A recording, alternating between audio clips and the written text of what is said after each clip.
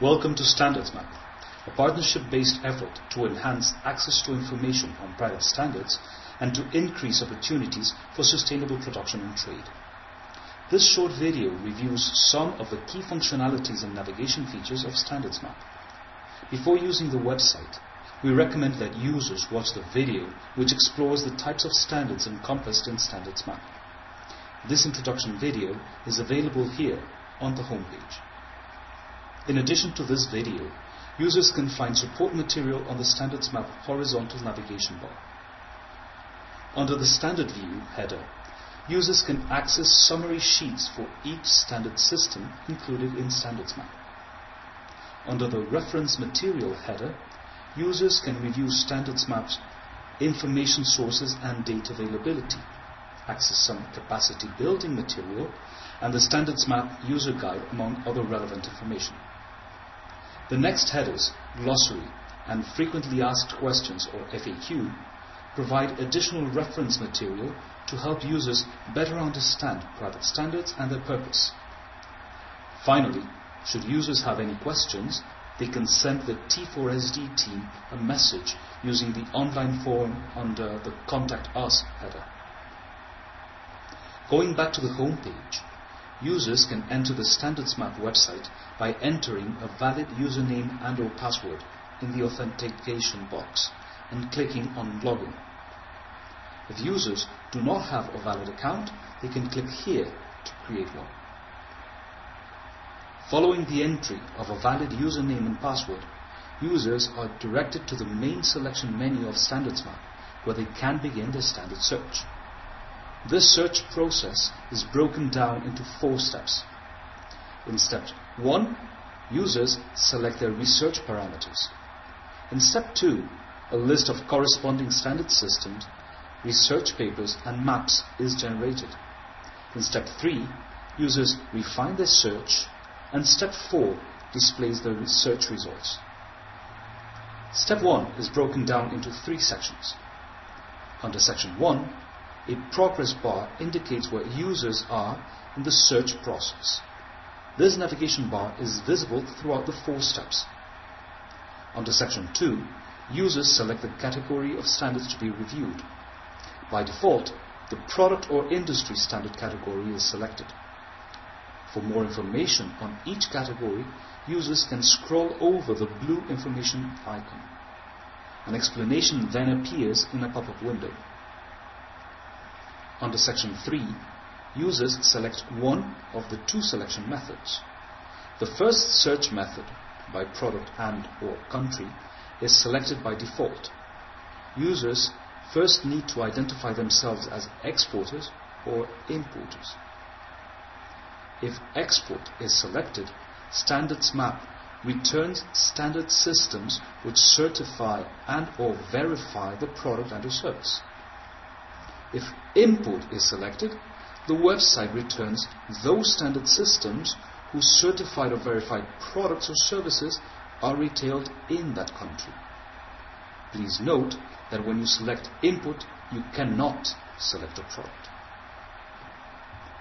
The second search method, by standard, enables users to select the standard systems classified under one of the two standard categories. Once search parameters have been selected, users can proceed to step 2 by clicking on Next Step. Step 2 returns standards, research papers, and maps based on the combination of search parameters selected under step 1. Information returned is broken down under three tabs. The first tab presents the standards according to the search parameters selected under step 1. The second tab returns research papers which focus on the product and or country under review and related standards. By scrolling over the title of the research, users can view a short summary abstract compiled by ITC displayed in a pop-up window. Users can use a filtering option to review specific types of publications or focus on specific topics. Furthermore, users can access detailed information on each article by clicking on the More Information button. The third tab, Maps, displays the geographical scope of standards. First, users need to select a standard system under the first drop-down menu, Standard. Then, users need to select whether they wish to review the scope for all products or a specific product. By selecting to review all products, three sets of maps can be generated using the third drop-down named Scope. First, by selecting Actual, users can view a map which displays where certification and or verification currently takes place for the standard selected in the first drop-down. Second, by selecting Possible, users can review the countries where certification and or verification currently does not take place but where certification bodies recognized by the standard system could provide certification and or verification services. Third, by selecting retailing and or sailing, users can view the countries where the product or services are sold. Alternatively, if users select a specific product from the product drop down, by default, standard map generates a map where actual certification and or verification takes place for this specific product and standard system. To proceed with steps 3 and 4 of the search, users need to go back to the Standards tab. Here, users can see an overview of each standard system by clicking on the drop-down menu Show Overview. By clicking on the At a Glance PDF link, users can access the summary sheets for the respective standard. Users can select the standards they wish to analyze by checking and unchecking the selection boxes in front of each standard system. To proceed to step 3, users need to click on the Next Step button. Under step 3, users can refine their search criteria in different ways. This can be done selecting preset queries or manually constructing queries using the advanced search and the keyword search modules. Preset queries include criteria grouped under various topics or themes. Users should be aware that generating preset queries under step 4 can take a bit of time, especially if their internet connection is very slow. To review info on a specific topic, users can either select a preset and refine it through the advanced search by clicking on the button Refine Selected Preset, preset in advanced search, or directly jump to step 4 to view results by clicking on Show Results. Users can also go to the Advanced Search module without selecting a preset query by clicking on the Advanced Search module tab. The Advanced Search provides users with much more flexibility to generate queries by enabling the selection of all criteria included in the database across cross-cutting topics. Criteria under the Advanced Search module are organized under five headings overview, scope, requirements, governance, and verification certification. Users can review the information included under each of these headings by clicking and viewing the overview file. Users can review the criteria to be selected under a heading or subheading by clicking on the heading name.